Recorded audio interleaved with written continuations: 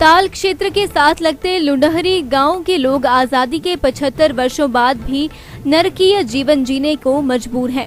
गाँव के लोगों को बाज़ार इत्यादि जाने के लिए कुनाह खड जान हथेली पर रखकर पार करनी पड़ती है। अगर ज़्यादा बारिश हो जाए तो गाँव के लोग चाहकर भी खड पार नहीं कर पाते हैं। कई बार तो दो तीन दिन तक लोग बाज़ार नहीं जा पाते हैं। ऐसे में स्कूल जाने वाले बच्चों और बीमार लोगों को ज़रूर परेशानियों से जूझना पड़ता है। ग्रामीणों को पाँच से सात किलोमीटर का सफ़र तय करके ही ताल पहुँचना पड़ता है। ग्रामीणों ने सरकार व जिला प्रशासन से गुहार लगाई है कि कुनाह खड्ड पर जल्द से जल्द पुल का निर्माण करवाया जाए। नमस्कार जी। हाँ जी, हमारे तो बहुत यहाँ पर खड्ड में समस्या पैदा होती है। जब भी खड्ड आती है तो हमें बच्चे बीमार होते हैं और बूढ़े वगैरह उनको उठाकर लाना पड़ता है।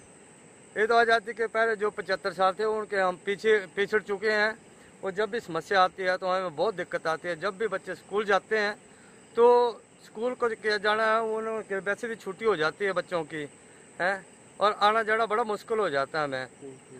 और हमें एक समस्या है, जो पुल अगर डाल दे तो बड़ी अच्छी बात है। क्योंकि हमें आने जाने की सुविधा जो है, वो अच्छी हो सके। और बच्चे बीमार शुमार वगैरह या बूढ़े वगैरह जो आते हैं उनको हमें सुविधा मिल जाए सरकार की तरफ़ से। मैं शमशेर सिंह लुंडरी निवासी।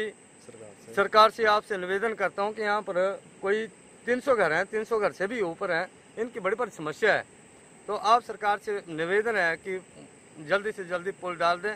हमें तो बहुत दिक्कत आती है बच्चों का बूढ़ों का बड़ा ख्याल रख दिव्या हिमाचल टीवी के लिए डिंडवी टिक्कर से सुलक्षण पटियाल की रिपोर्ट।